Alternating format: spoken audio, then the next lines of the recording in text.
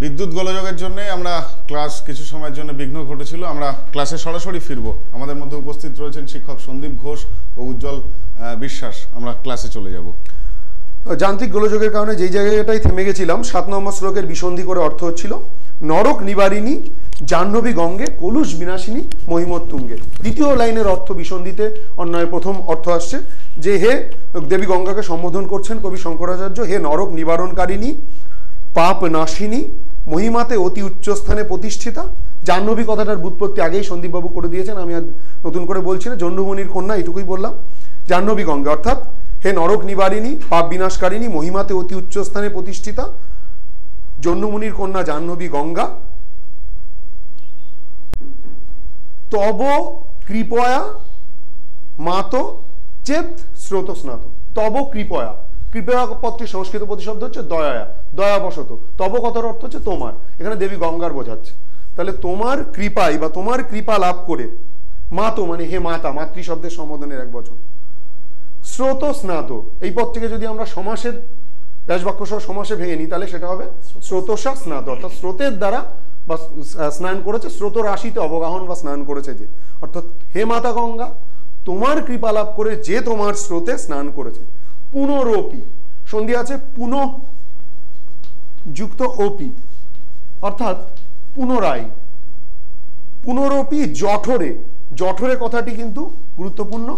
জঠরে কথার অর্থ, এর সংস্কৃত প্রতিশব্দ হচ্ছে উদরে। এর অর্থ হচ্ছে মাতৃগর্ভে। পুনরপি জঠরে সো ওপি ন জাত সো ওপি। বিসর্গ সন্ধি আছে। স যুক্ত ওপি। অর্থাৎ পুনরপি পুনরায় জঠরে মাতৃগর্ভে, সোপি ন জাত। সে কিন্তু পুনরায় মাতৃগর্ভে জন্মগ্রহণ করে না। তাহলে পুরো সপ্তম যে শ্লোক গঙ্গা স্তোত্রমের তার অর্থ হচ্ছে যে, হে নরক নিবারিণী, পাপ বিনাশকারিণী, মহিমাতে অতি উচ্চস্থানে প্রতিষ্ঠিতা, জাহ্নবী গঙ্গা, হে মাতা, তোমার কৃপা লাভ করে যদি কেউ তোমার স্রোত রাশিতে অবগাহন করে, তাহলে সে কিন্তু পুনরায় মাতৃ জঠরে জন্মায় না। এখানে একটুখানি বলার আছে বিষয় যে আমরা এই পৃথিবীতে মানুষ জন্মাচ্ছে, আবার বয়প্রাপ্তিতে মারা যাচ্ছে। আবার পুনরায় সে হিন্দু ধর্ম আমরা বিশ্বাস, পুনর্জন্মবাদ, পুনরায় আবার এই পৃথিবীতে ফিরে আসছে। এইভাবে জন্ম মৃত্যু যে চক্র, সেটা চলতেই আছে। এবার এখানে পাপ কার্যের ফলে নরকলাভ, পুণ্যকর্মের ফলে স্বর্গলাভ। এই পুণ্য স্বর্গ নরকের বাইরেও রয়েছে চিরমুক্তি, অর্থাৎ মোক্ষ। এই চিরমুক্তি বা মোক্ষ, সেটা কীভাবে সম্ভব হতে পারে? সাধারণত বলা হয় যে আত্মজ্ঞান বা ব্রহ্মজ্ঞান। অর্থাৎ যিনি আত্মজ্ঞ বা ব্রহ্মজ্ঞ হন, আত্মজ্ঞান বা ব্রহ্মজ্ঞান লাভ করেন, তিনি তারই চিরমুক্তি ঘটে। কিন্তু ভক্ত কবির দৃঢ় বিশ্বাস, যদি কেউ যদি কেউ গঙ্গার প্রতি অবিচল ভক্তিবশত তার স্রোতরাশিতে অবগাহন করে, তাহলে সে কিন্তু চিরমুক্তি, অর্থাৎ সে কিন্তু মাতৃজঠরে আর জন্মায় না, চিরমুক্তি লাভ করে। আমরা শ্লোক নাম্বার আটে চলে যাব, অতি দ্রুত, কারণ আমাদের কাছে সময় সংক্ষিপ্ত। একটু ফাস্ট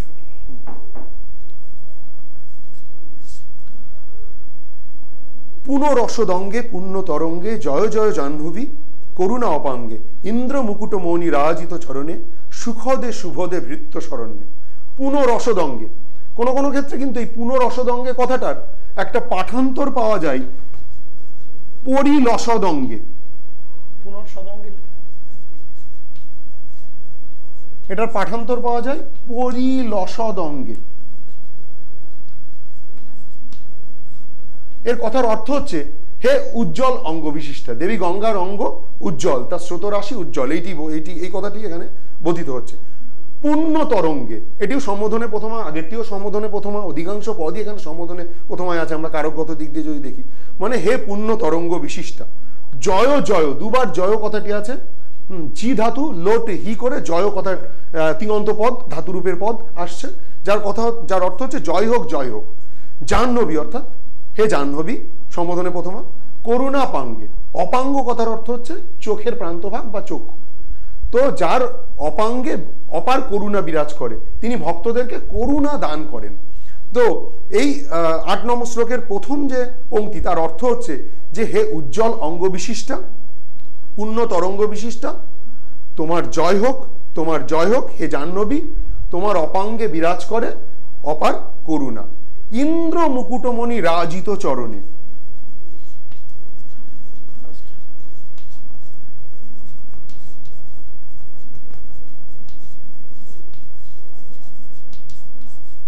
ইন্দ্র কথার অর্থ দেবরাজ, অর্থাৎ যার সংস্কৃত প্রতিশব্দ হচ্ছে দেবেশ।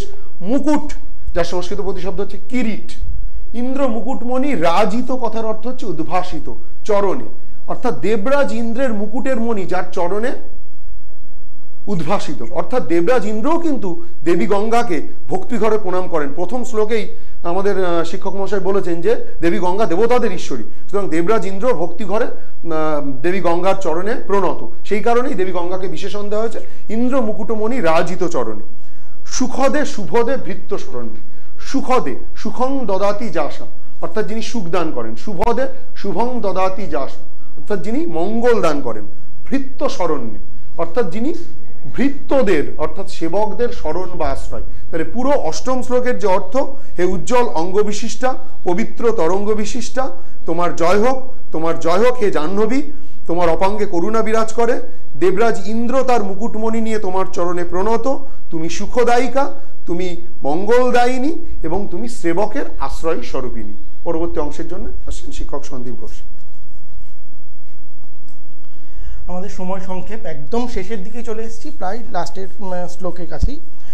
রোগং, শোকং, তাপং, পাপং হর মে ভগবতী কুমতি কলাপম।